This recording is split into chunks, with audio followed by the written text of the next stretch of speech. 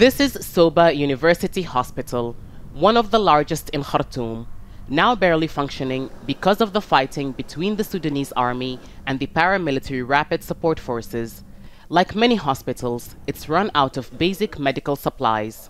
We used to operate two dialysis units, one for adults and another for children, which we had to shut down because of a lack of supplies. The materials necessary to give dialysis to children aren't available anywhere in the country.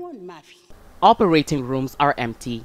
Staff say the last procedure was formed on the day the conflict began, the 15th of April. Employees are too scared or unable to come to work. We call on local and international aid agencies and charity organizations to help Sudan, and especially Soba. The hospital hasn't been damaged by the conflict, but there are no medical supplies or staff.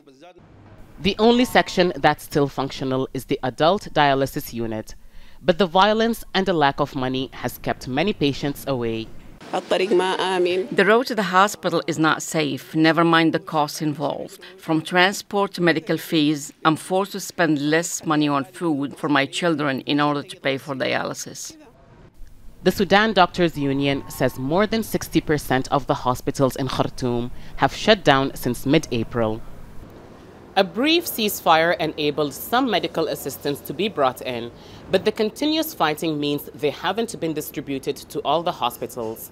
Now that the ceasefire is officially over, people who need help are worried that even the few functioning hospitals may not be open for much longer.